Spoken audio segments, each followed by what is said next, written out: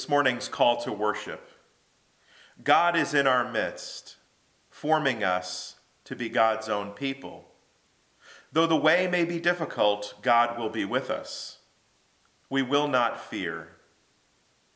In the Lord we will take our refuge, for God is our strength. Come to the Lord, who will surround you with God's own righteousness. Lord, open our hearts and our spirits so that we may be faithfully able to follow you. Amen. Father, you are the name above every name. Your name is like a fortified tower in which we may find safety and security. When we feel troubled, we will find peace in your name. When we feel weak, we will find strength in your name. When we feel overwhelmed, we will find rest in your name. When we feel surrounded by pressures on every side, we find stability in your name. Lord, your name is beautiful. Help us to rely on you. Through Jesus Christ our Lord. Amen.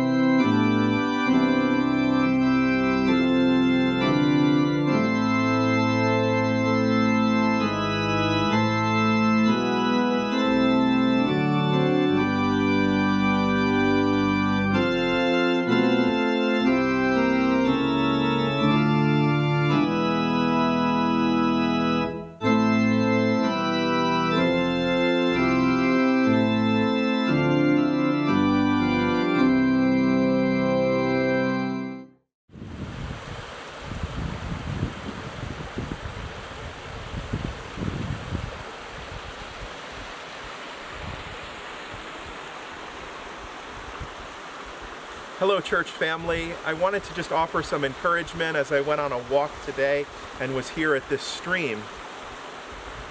Psalm 46 says this God is our refuge and strength. He's an ever present help in trouble. Therefore, we will not fear, though the earth give way and the mountains fall into the heart of the sea, though its waters roar and foam and the mountains quake with their surging. There is a river whose streams make glad the city of God the holy place where the Most High dwells. God is within her, she will not fall. God will help her at the break of day. Nations are in uproar, kingdoms fall. He lifts his voice, the earth melts. The Lord Almighty is with us, the God of Jacob is our fortress. Come and see the works of the Lord, the desolations he has brought on the earth. He makes wars to cease to the ends of the earth. He breaks the bow and shatters the spear. He burns the shield with fire. Be still and know that he is God. He will be exalted among the nations. He will be exalted in the earth.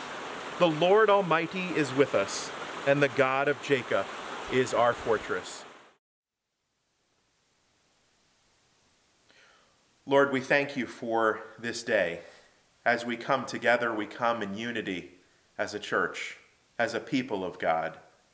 Lord, I ask right now that as we come together, this scripture in Psalm 46 would land upon our hearts, our minds, our lives. Lord, that we could listen to these words that you've laid on my heart to share this morning with your people. I ask that the words that I share, the meditations of my heart, be pleasing to you, and they fall on ears that need to hear.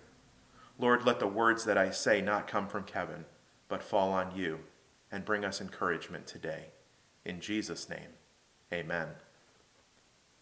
A friend of mine awoke one morning to find a puddle of water in the middle of his king size bed. In order to fix the puncture, he rolled the heavy mattress outdoors and filled it with more water so he could locate the leak more easily. The enormous bag of water was impossible to control, and he began rolling it on a hilly terrain. He tried to hold it back, but it headed downhill and landed in a clump of bushes which poked it full of holes. Disgusted, my friend threw away that waterbed frame and moved a standard bed into his room. The next morning, he awoke to find a puddle of water in the middle of his new bed. The upstairs bathroom had a leaky drain. I wasn't supposed to be sharing a message today. We had a guest preacher lined up this Sunday weeks ago. But due to circumstances, things changed. There is no other place I would rather be than sharing what God has laid upon my heart to share with, your, with you this morning. So a sail adjustment happened. Remember, we cannot direct the way the wind blows, but we can adjust our sails. Sail adjustments are important in life. Probably more important than the adjustment is to realize when we need to make them. Last week, I was not planning on being in the lodge cooking turkey dinners with some from our church for the local community. Well, we did, and it was good ministry all around. 25 meals were delivered last Sunday afternoon to some folks to our community, not so much in need, but they were delivered in love, simply as a Sunday dinner delivery. Sail adjustments. The only thing we can be certain about is that things change. Our response reaction to the change and the challenge is important. Sometimes, and perspective, we need a little more perspective, a reminder to see the problem and identify the solution, the way out. Well, today's verses, some of my most favorite in Scripture, offer perspective. These verses are sweet reminders on what we can do and who we should be focusing on in times of trouble as we lift our eyes to the hills. I love how these verses begin. God says, even though the trouble, five powerful words start offering a foundation for life. God is our refuge and strength. And this is where I would like to park today, taking some time to unpack these words together to see that upstairs leaky drain and fix it before it causes damage to other areas of our lives. We need to rest in the deep rooted promise that God is our refuge and strength. It's not just in this chapter that we read these bold statements, we see truths in other places in the Bible.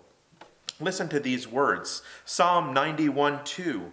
I will say to the Lord, my refuge and my fortress, my God in whom I will trust.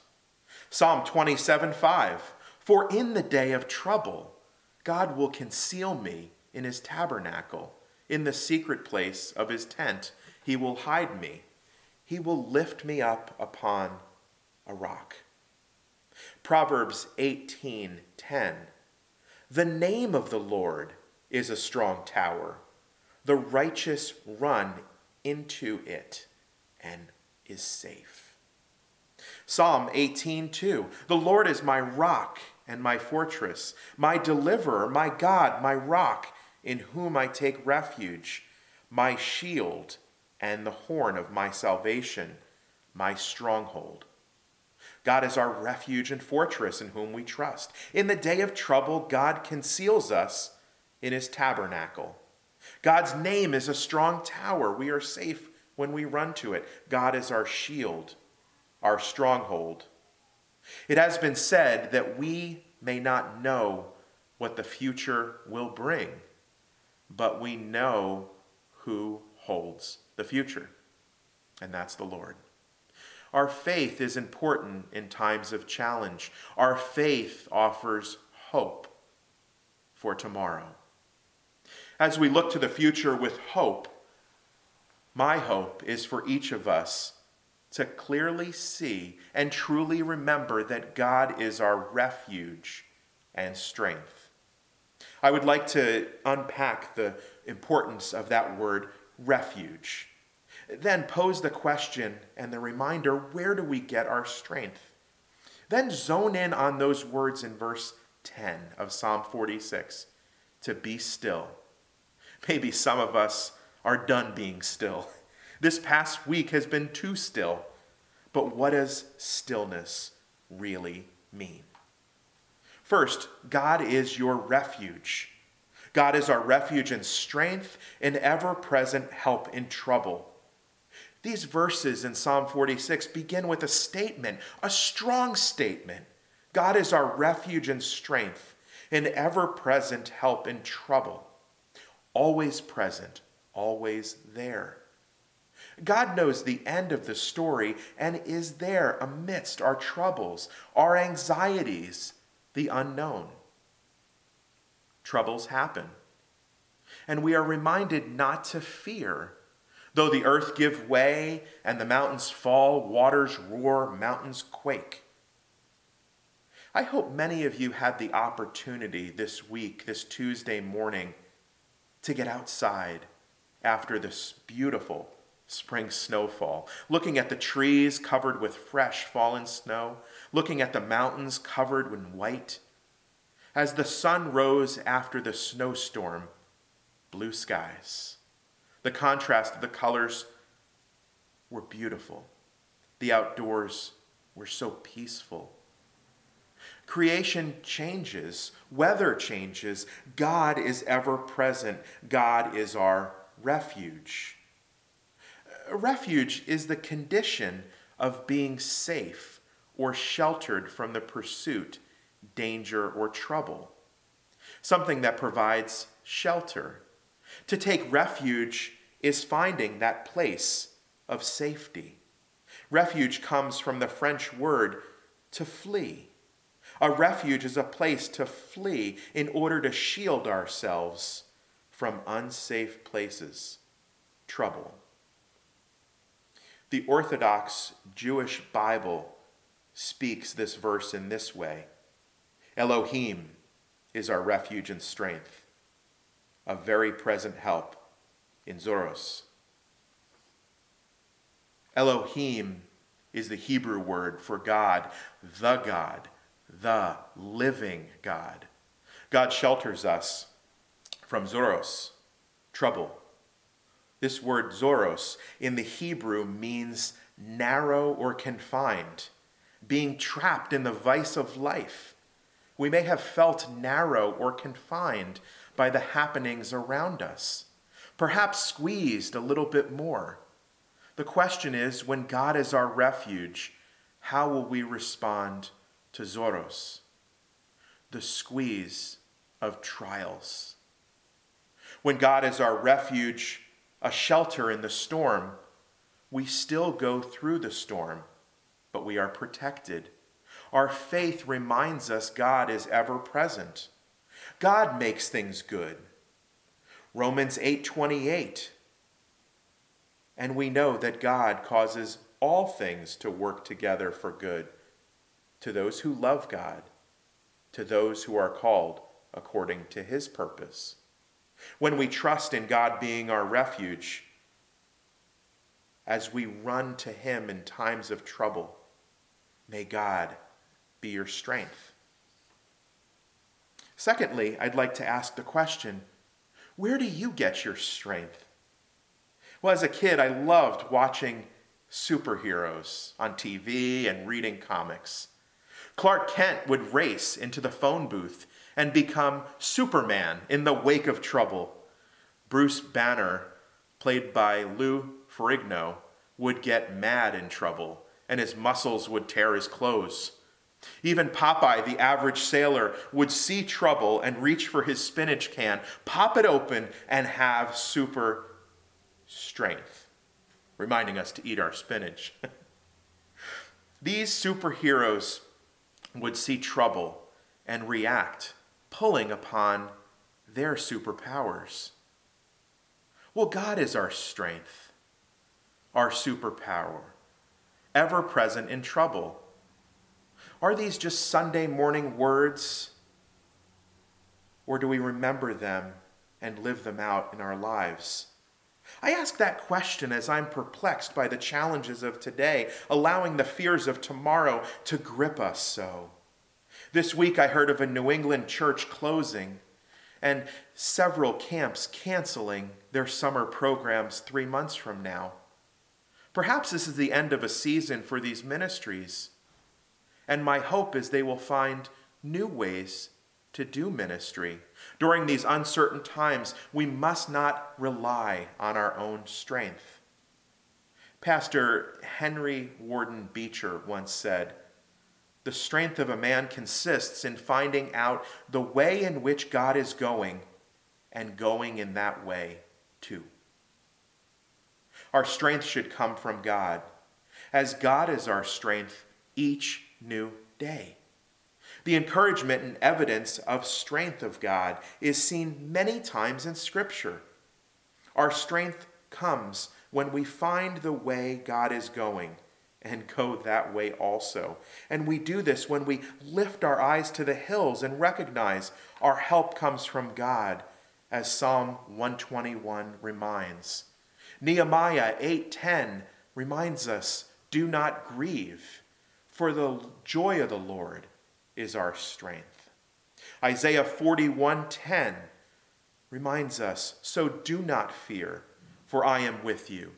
Do not be dismayed, for I am the Lord your God. I will strengthen you and help you. I will uphold you with my righteous hand." Exodus 15:2 The Lord is my strength and my song. He has given me victory. 1 Chronicles 16:11 Seek the Lord and his strength. Seek his face continually. Philippians 4:13 I can do all things through Christ which strengthens me. There is power of hope in these verses. Words of assurance when we look for where we get our strength, we find the answer. Anxiety does not empty tomorrow of its sorrows, but only empties today of its strength, as Charles Spurgeon reminds us. Lastly, I'd like to explore the question what does it mean to be still? Psalm 46 says, God is our refuge and strength and ever present help in trouble. Therefore, we will not fear, though the earth give way and the mountains fall into the heart of the sea, though its waters roar and foam, and the mountains quake with their surging, Selah. It goes on in verse 10 to say, Be still and know that I am God. Selah. That word Selah appears three times in Psalm 46. Once at the end of verse 3 and verse 7, and in verse 11. Well, what does it mean? Selah is a word used 74 times in the Hebrew Bible, 71 times in Psalm, and three times in the book of Habakkuk. The meaning of the word is not known, although some biblical scholars offer definition. Some say Selah may mean forever, as it does in some places in the liturgy of Scripture. Another interpretation claims Selah comes from the primary Hebrew root word selah, which means to hang, or by implications, to measure as way of weight. Because some psalmists, psalms were sung accompanied by musical instruments, 31 chapters have the caption to the director of music, including the word Selah. Selah may indicate a break in song, and some believe, as myself, it means to pause and think of that. God is our refuge and strength and ever present help in trouble. Therefore, we will not fear, though the earth give way and the mountains fall into the heart of the sea, though its waters roar and foam and the mountains quake with their surging. Selah. Pause and think of that. The Lord Almighty is with us. The God of Jacob is our fortress. Selah. Pause and think of that. He says, Be still and know that I am God. I will be exalted on the nations, I will be exalted on the earth. The Lord Almighty is with us. The God of Jacob is our fortress. Selah. Pause and think of that being still and knowing that He is God is not quarantine. Being still is not narrow, it's not squeeze. Being still isn't doing nothing. Being still is an action word. Being still means to put your hands down.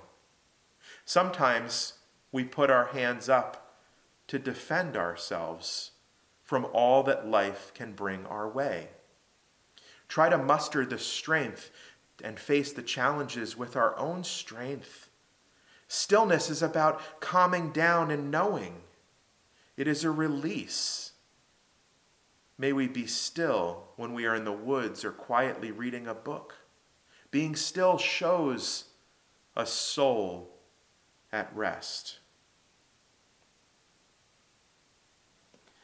My prayer this week, during this gift of extra time, is to find still small moments to wait quietly before the Lord, not lifting our hands in defense, but being able to release the anxieties of today and trusting in God as our refuge, our strength, and an ever present help in trouble. Selah pause and think of that. Father God, we thank you for the words that you have laid on my heart this morning. I ask that you'd work them in our minds, in our hearts, in our lives. God, that you'd remind us the importance of being still. It's not about mustering up our own strength to face challenges with our own strength. It's about relying on you and your strength. You are ever present in our lives. Lord, we give you thanks today. Be with us, calm our anxieties. Lord, replace them with calmness in you.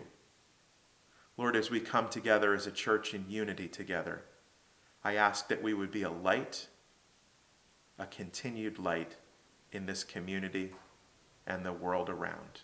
In Jesus' name we pray. Amen.